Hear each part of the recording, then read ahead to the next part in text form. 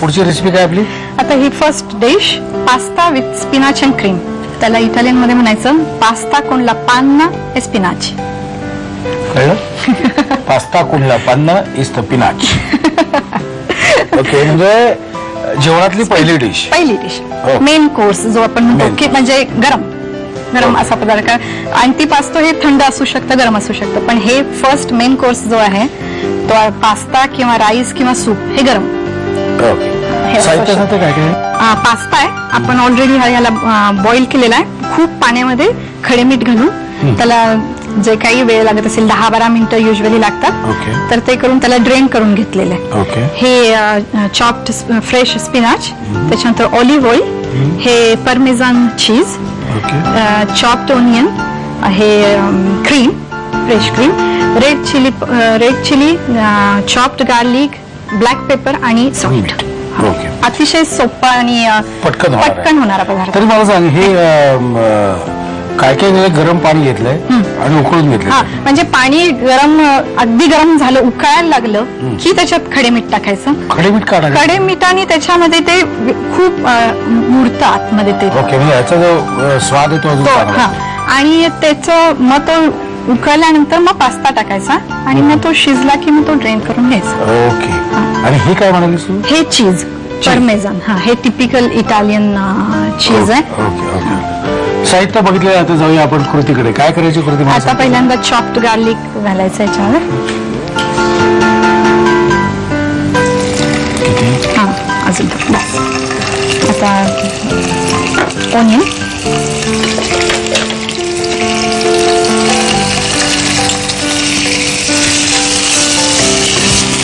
आणि त्याच्यानंतर मग आपण त्याच्यात घालणार आहे स्पिनाच हे आपण अ, हा मिरची आधी घालूया. हा. तर हा जो पास्ता आहे हा मु- लहान मुलांसाठी खूप चांगला आहे. कारण स्पिनाच आपल्याला माहिती आहे की त्याची तब्येतीला हा.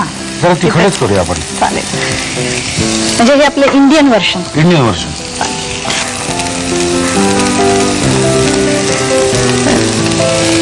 हे स्पिनाच सुद्धा तिकडे भरपूर वापरली जाते. त्याच्या हा. मीठ आणि पेपर हा. तर हे जे स्पिनाच आहे त्याचं ओरिजिन असं म्हणतात की हे हा स्पिनाच हा पर्शियन वर्ड आहे. तर तो म्हणजे पेर्सिया म्हणजे आपलं सध्याचं जो इराण आहे तिथं त्याची निर्मिती झाली. तिथून मग अरब ट्रेडर्सनी हे स्पिनाच आपल्याकडे इंडियात नेपाळ आणि चायनामध्ये नेलं आणि तिथून मग ते युरोपमध्ये गेलं. आता त्यात काय? आता हे याच्यामध्ये आपण क्रीम घालणार आहे. ओके.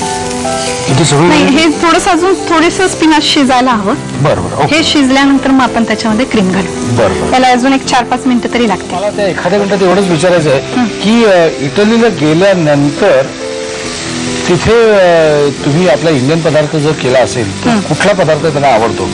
घरच्या लोकांना इंडियन पदार्थ. घरामध्ये आवडतं सगळ्यांना बिर्याणी. मुलांसकट. मुलांसकट अतिशय. बिर्याणी विथ रायता. बिर्याणी विथ रायता हा. म्हणजे आणि काकडीची कोशिंबीर आपली. थोडक्यात. हा. ओके, मी- झालं का? हा याच्यामध्ये क्रीम घालायचं. मी जेव्हा सगळं हो. सगळं नको अर्धा. मी जेव्हा इटलीला गेले तेव्हा माझ्या आजी सासू अं, होत्या.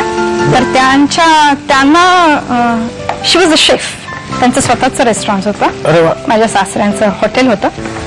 आता सध्या ते हिज अ बिल्डर पण तेव्हा त्या काळी त्यांचं हॉटेल होतं. आणि माझ्या सासू आजी सासू फार अं, स्वयंपाकामध्ये अं, हा पदार्थ? हा त्यांनाच त्यांचीच रेसिपी ओके. त्यांचीच रेसिपी आता काय करायचं? आता ह्याच्यामध्ये आपण पास्ता घालायचा. घालायचं? हा. किती होईल हा. बस बस. हा असा क्रीमी असा पास्ता व्हायला पाहिजे. अगदी खूप ड्राय झालं तर ह्याच्यात आपण थोडंसं पाणी घालू शकतो. ओके आणि ते असं सॉस त्याच्यामध्ये छान अं, शिजवून घ्यायचं. आणि आता हा हे- आकार असाच असतो ना आपण जेव्हा विकत घेतो हा हा. ह्याला इटालियनमध्ये हा फरफाल्ले म्हणतात म्हणजे बटरफ्लाय फरफारे फरफाल्ले फरफाल्ले हा फरफाल्ले फरफाल्ले फरफाल्ले फरफाल्ले तर हा पा- आता पदार्थ खायला सुरुवात झाली. हा, हो. चला आता याच्यावरती हे चीज घालायचं प्लेटमध्ये आपण जेव्हा घालू हा, हा. किंवा याच्यात पण हे सर्व करताना आपल्याला cheese घालायचं. हा हा. आणि लिहायला घ्यायला काय म्हणतो तो? स्क्रीव येते. हा. हा. आमचं झालेलं आहे स्क्रीन येते. म्हणजे काय काय आत्ता सांगितलं ना स्क्रीन येते म्हणजे लिहून घ्या. साहित्य आणि कृती स्क्रीन येते.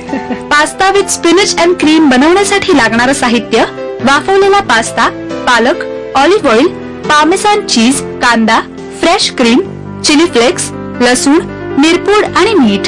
कृती प्रथम पॅनमध्ये ऑलिव्ह ऑइल गरम करून त्यामध्ये लसूण बारीक चिरलेला कांदा चिली फ्लेक्स आणि पालक घालून मिश्रण परतून घ्यावं. त्यामध्ये मीठ मिरपूड क्रीम वाफवलेला पास्ता आणि पामेसान चीज घालून वाफवून डी सर्व्ह करावी खवई